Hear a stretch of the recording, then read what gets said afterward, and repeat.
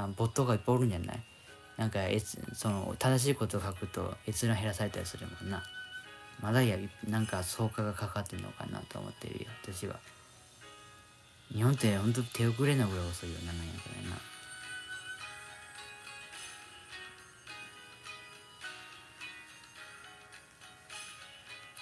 埼玉もね草加が多いしね。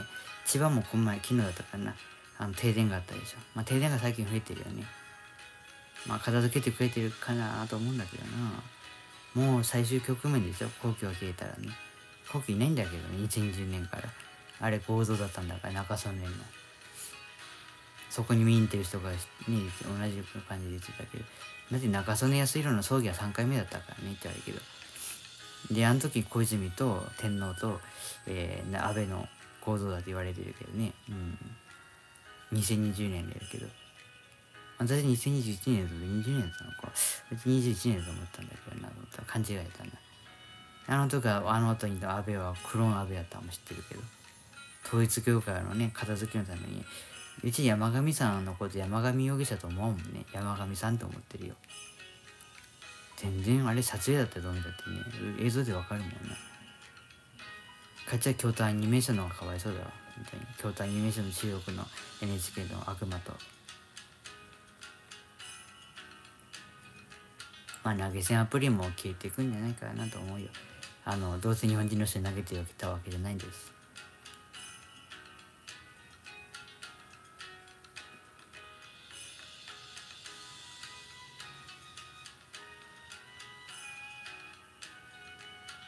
ね、だって契約してる人がいっぱいね投げてもらってるよね。いろんなアプリがあるけど。もうそういうのはねもう見通しなのよね、うん、だからあの当分飛んでたんだなと思って。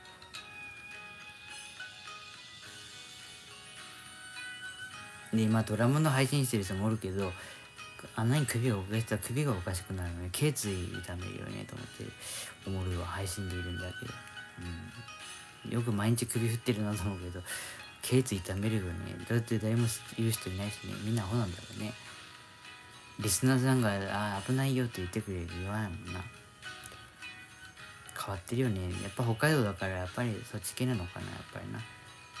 北海道って韓国人とか中国が多いでしょ。ほとんど中国だと思ってるけど乗っ取ってるわけだから。東京23区も中国が乗っ取ってるわけだしね。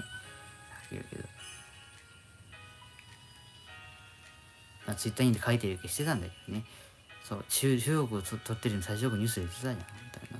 大阪で中国しかおらんしね。なんで中国っていうかというと配信者が聞いた。どっちが多いですかって聞いたらいや中国だねって住んでるから知ってる住んでるなもう住んでる人が聞いたんだから。どっちが多い？で広島も創価が多いんだってやっぱり。で創価ばっかりじゃない。PL 学園は F1 の承認だしな。高校野球なんかもやっぱりね上級国民と宗教関係の集まりだなって分かってるし大学もそうじゃん。創価大学とかあるわけだしね。ね会社でいいポジションついてるのはね創価の関係とか朝鮮人なんですよ。日本人ではない。日本人はいつも下っ端の役です。アルバイトだったり契約社員だったりな。いつもそういう役。ねランクがちょっと低いねやっぱそっちの韓国や朝鮮人の人でもやっぱ西成に住んだりしてるわけじゃない。みんながみんながいい思いしてるわけじゃない。ランクによって変わってくるの。明治明治の以前に不法で入ってきてからこんななるんだよね。